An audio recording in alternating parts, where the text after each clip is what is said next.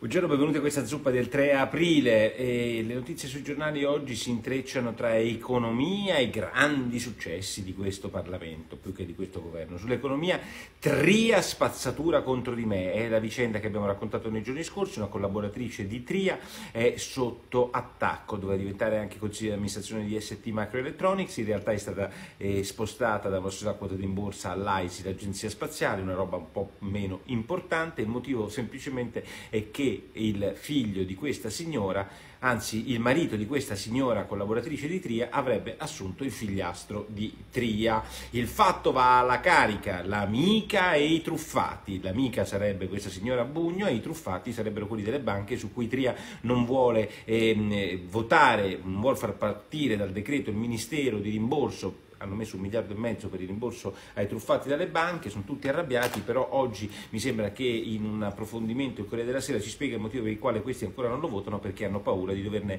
ehm, il fatto che questi rimborsi avvengano senza alcuna sentenza, insomma ci sono delle gabole come al solito giuridiche italiane per le quali rischiano di pagare personalmente eh, per danno erariale il ministro e i tecnici che votino questa eh, delibera perché l'Italia è fatta così e tra poco vedremo per, in che maniera. E altra diciamo, passo indietro di Tria deriverebbe da una indiscrezione secondo la quale Conte avrebbe detto a Juncker, quando Juncker gli ha detto guardate che siete in recessione, lo dice il vostro stesso ministro dell'economia, beh insomma Conte avrebbe detto a Juncker questa eh, fase eh, Tria l'ha detta soltanto a titolo personale e non a nome del governo. Insomma Conte che pensi sapere di economia più di Tria, andiamo bene. E, ehm, in termini economici, di economia invece quello quello che mi sembra molto più interessante è che nel decreto crescita in cui vedremo quante robe ci saranno, secondo il Sole 24 ore di oggi, l'apertura del Sole, dovrebbe esserci la possibilità per quegli enti locali che hanno, fatto, ehm, hanno utilizzato degli enti di riscossione diversi da Equitalia, quindi mi sembra 6.000 comuni in Italia, moltissimi, la possibilità di riaprire il condono, la rottamazione delle cartelle anche per le multe comunali, mentre fino a ieri questo era impedito, oggi potrebbe arrivare la rottamazione delle multe e, e delle sanzioni comunali fiscali anche ehm, con il decreto crescita. Insomma, si tratta di una grande, evidentemente, apertura che dovrebbe portare cassi al, casse, eh, cassa allo Stato. Beh, insomma, poi tutto il Parlamento, 460 voti favorevoli e zero contrari al voto, unanimità sul revenge porno, da 1 a 6 anni il carcere per chi si permette di diffondere delle, delle indignitose e orrende immagini come quelle che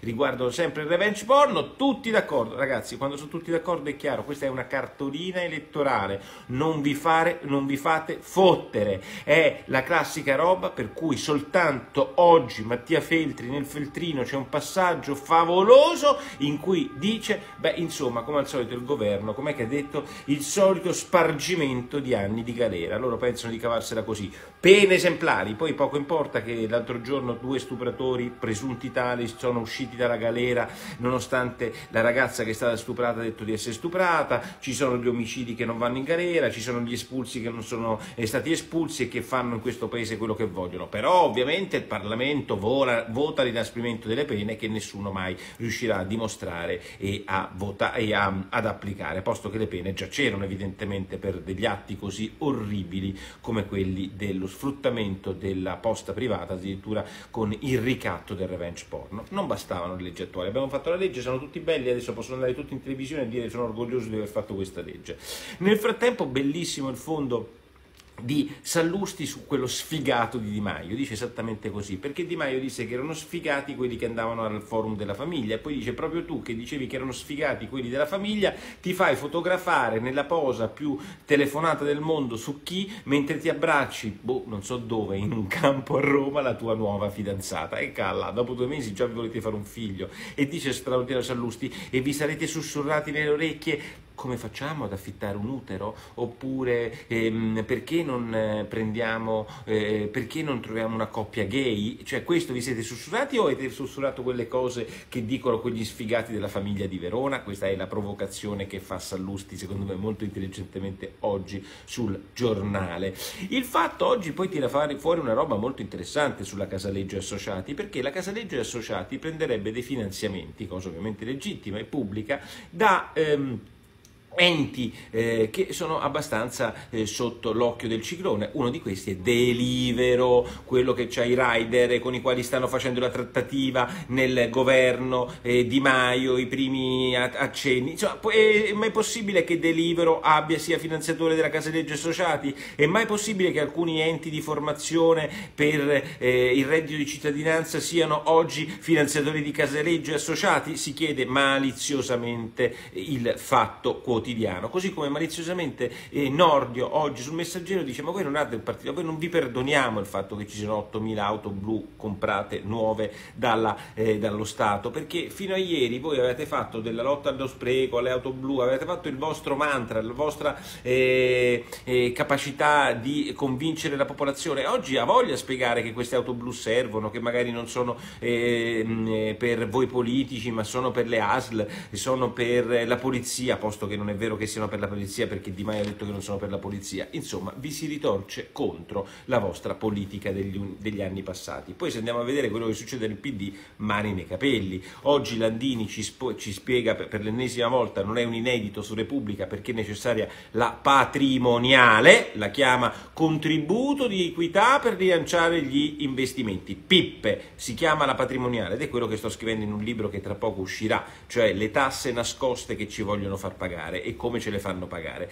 Ma la cosa più divertente di Landini non è tanto che, questa, che chiede questa patrimoniale per rilanciare gli investimenti, perché dice si deve intervenire sulla ricchezza, non è questa la cosa più interessante. La cosa più interessante, come nota Folli oggi sulla Repubblica, la cosa più interessante appunto di oggi è che eh, il, eh, ieri al Nazareno ha varcato la porta proprio Landini, quindi la nuova andazzo diciamo, del Partito Democratico è, dice sarcasticamente Folli, è che al Nazareno non si vede eh, il, il segretario Renzi con Berlusconi, ma al Nazareno si vede il segretario Zingaretti con eh, Landini, che è quello che vuole portare in Italia la patrimoniale. Se voi piace, va bene a tutti quanti noi, intendo voi che votate a sinistra. Beh, Belpietro è l'unico che oggi si interroga su questa vicenda incredibile di Torino in cui un marocchino uccide un italiano sgozzandolo. Perché su questa vicenda, su cui sono stati versati fiumi di tenerezze, di ricordi, di mh, eh, psicologismo, beh, nessuno, dice Belpietro, si ricorda che questo marocchino che ha ucciso un italiano, ha detto volevo ammazzare un italiano felice.